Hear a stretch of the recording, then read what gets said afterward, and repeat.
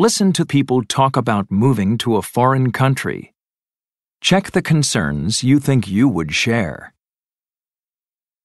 One thing that I'd really miss is hanging out with my friends.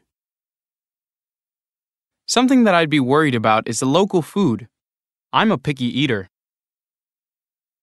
Getting used to a different culture might be difficult at first. I'd be worried about not knowing how to get around in a new city. The people that I'd miss the most are my parents. We're very close. Not knowing the local customs is something I'd be concerned about. I'd be nervous about getting sick and not knowing how to explain my symptoms.